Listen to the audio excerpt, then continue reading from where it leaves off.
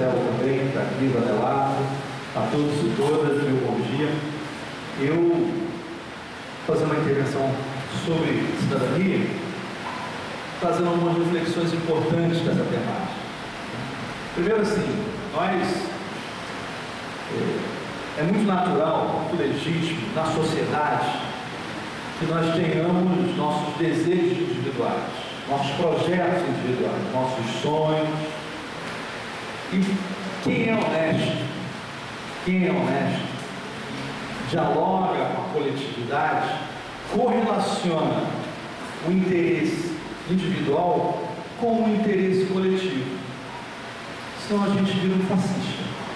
Esse é o grande desafio que a gente tem nessa caminhada de cidadania. Agora, evidentemente que há situações onde esse interesse individual nosso ele entra em conflito com o interesse coletivo. E aí tem que ceder. E veja, por exemplo, as cotas. Quero começar nesse exemplo das cotas.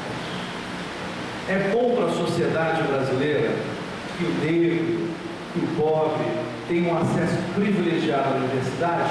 É. É mais do que bom, é importante.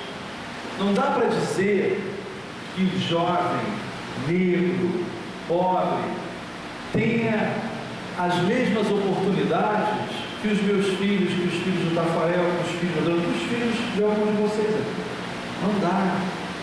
Essa criança negra sente literalmente na pele o que, que é a discriminação. Muitas das vezes as pessoas falam assim, mas está uma discussão sobre quem é negro e quem não é negro. Pergunte ao policial que ele vai saber identificar, porque ele sabe identificar o preconceito enraizado nessa prática cotidiana de perseguição. Uma história de 300 anos. Eu militei durante 13 anos no movimento de educação popular para o pré-vestibular comunitário. E um belo dia fizemos um debate sobre as cotas. E aí o professor que estava na mesa, hoje inclusive é até deputado federal, não do PT, disse até um deputado com trajetória bem marcante na esquerda, na época, não sei hoje, mas na época ele estava no PT e se dizia que não era um entusiasta das cotas, porque ele achava que o aluno ao entrar para a UERJ, na época a grande verdade era a UERJ, ao entrar para a UERJ, aquele aluno seria discriminado. E isso atrapalharia o bom andamento do ambiente acadêmico. Bonita a palavra, né? Bonita frase. Aí um aluno meu, fiquei muito orgulhoso, se inscreveu e fez a seguinte fala, professor, quero dizer para o senhor que o meu sonho é ser discriminado dentro da universidade, porque fora eu já sou. Eu acho que essa resposta mostra bem a dimensão da sociedade que a gente vive hoje. A política de cotas é uma política de ação afirmativa, que evidentemente vem numa caminhada, numa trajetória para corrigir uma distorção. O negro, negra, em especial o pobre, e a grande maioria, não está no melhor emprego, não está na universidade. Como é que você corrige isso? Melhorando a educação, é evidente. Mas eles não melhoram a educação de um dia para o outro, nem de um ano para o outro. A gente vai levar no mínimo 10, 15 anos. E o que, que eu falo para a geração que está hoje no ensino médio? Espera 15 anos? Qual o pai que falaria isso para o filho? Esse é o desafio que tem hoje. Isso é cidadania. Fazer uma construção que privilegie aqueles que estão fora do critério de oportunidade. O governo Lula, ao longo desses oito anos, dando continuidade agora para a presidenta Dilma, pautou com responsabilidade esse debate. O acesso à universidade. O acesso à universidade, inclusive público de qualidade, para os negros e os pobres. Eu me recordo que no governo anterior, o ex-ministro da Educação, faleceu recentemente, inclusive Paulo Renato, tinha um discurso que, olha, nós não temos, nós não temos dinheiro, recursos para cuidar do ensino superior e do ensino fundamental. Já fazia um ensaio visando o que? A privatização do ensino superior. Era isso que eles faziam. E era interessante que todas as matérias que tinham esse cunho, no final, mostravam o estacionamento da UFRJ, cheio de carros importados, dizendo que os filhos dos ricos da elite estavam na universidade pública, como uma desculpa para a privatização. O governo Lula pega esse fato, é verdade. Os filhos dos ricos da elite estão na universidade pública. Então o que a gente vai fazer é colocar os filhos dos pobres, dos negros, dos discriminados, dos indígenas na universidade. E foi o que fez. Para desespero da elite. Esse é o problema da elite brasileira, que não compreende uma política plural, não compreende que o slogan, a meta do governo Lula era Brasil um país de todos, todos e todas. E quando você diz que é um país de todos, está subentendido que você precisa privilegiar aqueles que estão fora. Não é fazer um discurso fácil dizer que quem governa para todos não está enganando alguém. Não, é. É quando você quer governar para todos, você quer incluir um segmento da sociedade que está fora. Isso é cidadania. Isso é política pública que constrói cidadania, que constrói oportunidades que tem o ProUni, que tem as bolsas de universidade para filhos dos povos trabalhadores e trabalhadoras. Muito engraçado que na campanha, eu fui fazer uma campanha na Zona Sul, uma senhora pegou meu panfleto, ah meu filho, não vou votar em você não. Mas por quê? Não vou votar em você, porque graças ao seu presidente, ao seu partido, a Zona Sul, ler graças ao seu presidente, ao seu partido, nós, eu, eu não consigo mais contratar empregada doméstica, porque nenhuma delas quer vir trabalhar por menos de 600 reais e diz que prefere ficar em casa no Bolsa Família. Aí eu falei, bom, só não vai votar em mim não, né? Ele falou, não, não, não, volta a ter governo, então, olha, então isso é um sinal para mim de que a gente está no caminho certo. Porque quando a gente fala em distribuição de renda, qual renda que a gente quer distribuir? Distribuir a renda do GSR e do Tafarel, a minha não. Porque essa é a visão da sociedade da elite. É boa de discurso, mas é ruim de cumprimento, de ação. E distribuição de renda é isso. É, é mais caro para a gente? É mais caro para a classe média? Tem que pagar melhor para empregada média? É. Mas isso é bom ou ruim para a sociedade? É bom. Então vamos pagar mais caro. Vamos criar um mecanismo de ação governamental que faça a distribuição de renda isso é bom para a sociedade. Não foi por acaso que 35 milhões de brasileiros saíram das classes mais baixas e entraram nas classes médias de consumo. Não é por acaso que hoje se faz um grande debate no Brasil sobre a importância da cultura e da educação para que essa nova classe média possa compreender como é que se constrói política coletiva, só corremos o risco de ter 35 milhões de brasileiros egoístas, sem compreender isso que a gente está discutindo aqui agora. E se tem pouco, né? Tinha um ditado muito trágico, dizer assim, faria pouco meu Perão primeiro, estragou o Brasil e elitizou esse país. O governo Lula ensinou, faria pouco a pouco pirou para todo mundo. Essa é a dimensão importante de um governo que verdadeiramente quer construir política para os mais pobres, para a emancipação, cidadania. Evidentemente que nós temos desafios, nem tudo está resolvido. Esse país vem de 500 anos de desigualdade, vem de 500 anos de ausência de protagonismo, pode a gente para pensar, a abolição da escravatura, 200 anos, é isso? 300 anos que tem a escravidão no Brasil, e é 200, menos de 200 anos que se aboliu a escravidão no Brasil algo muito recente. E evidentemente tem que ter responsabilidade de ação concreta para mudar essa realidade. Para fazer uma construção onde, evidentemente, o mais pobre seja o protagonista. Agora, a elite brasileira não se conforma com isso. E esse é o problema que o Brasil tem hoje. Vou dar um exemplo muito simples.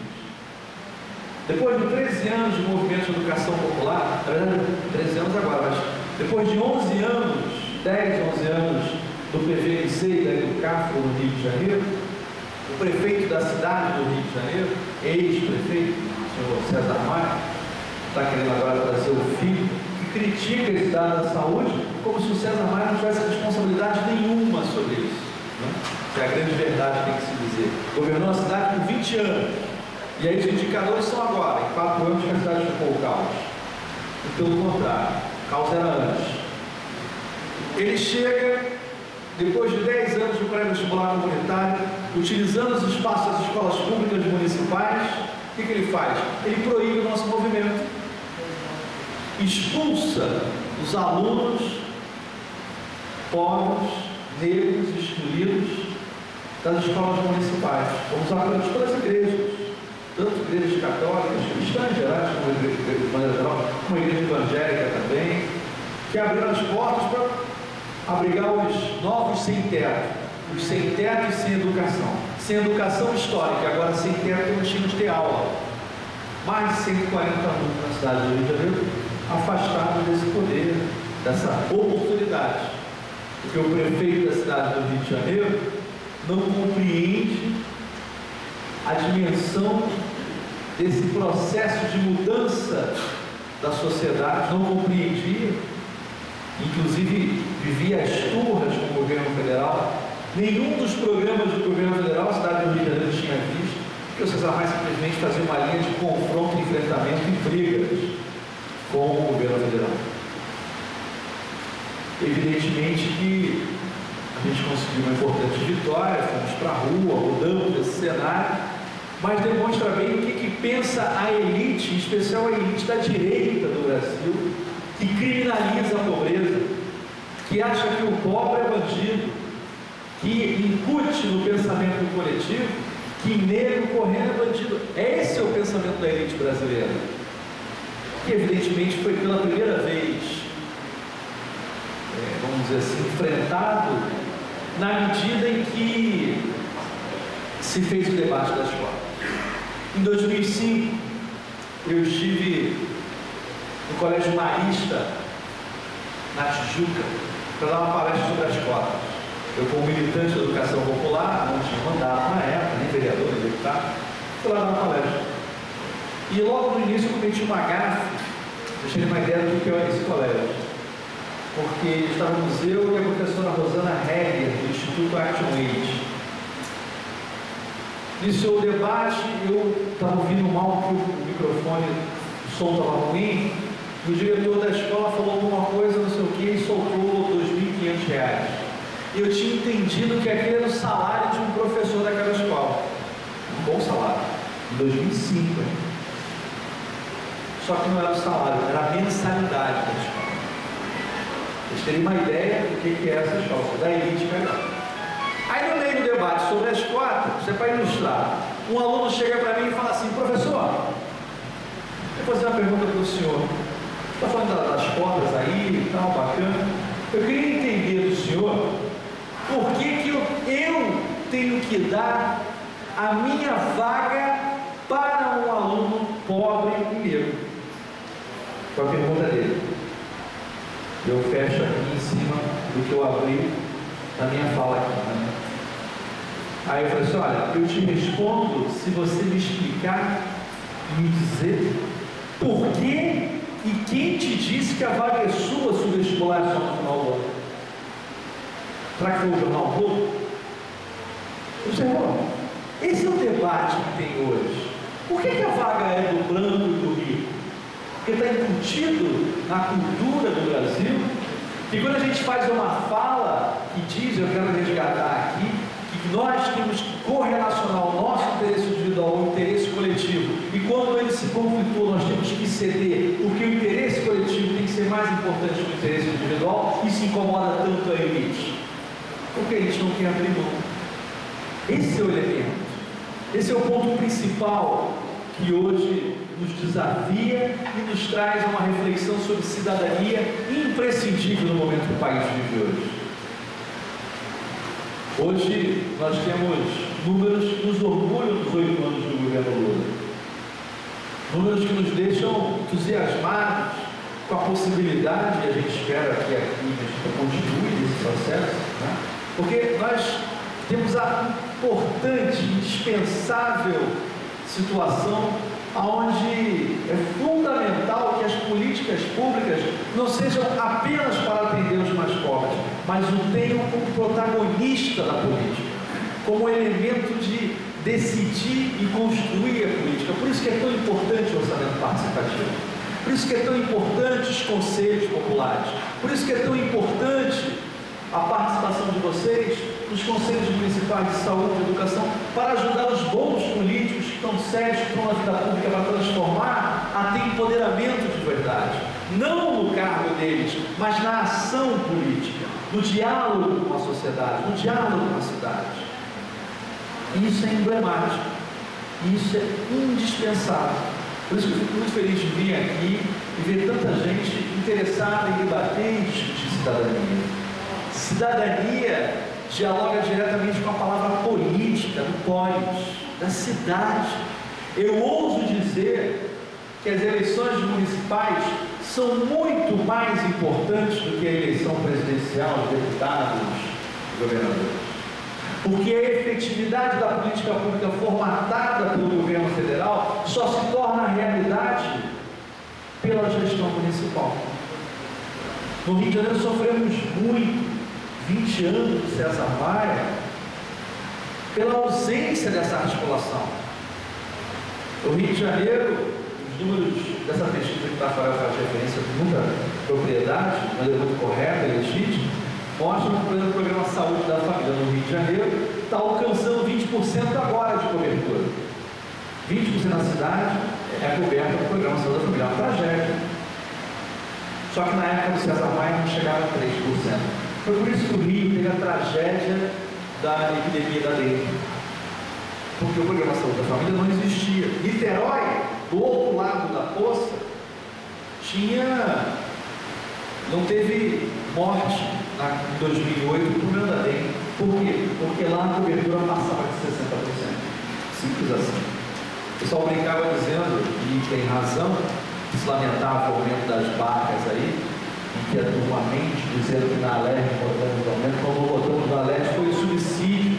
A Assembleia nenhuma vota aumento de transporte, infelizmente, porque o senhor Fernando Henrique Cardoso e o senhor Marcelo Alencar privatizaram e criaram a figura das agências reguladoras, que são as responsáveis por fazer esses aumentos absurdos. E a gente brinca dizendo que, brincava, né? Niterói ninguém morreu de dengue, que as barcas são tão ruins que nenhum mosquito pega a barca. Mas não é verdade, não morreu ninguém de porque havia um programa de cobertura.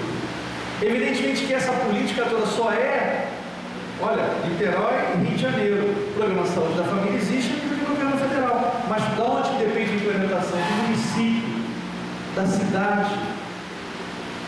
E Mesquita não pode recuar. Não pode voltar aquele passado longínquo, triste.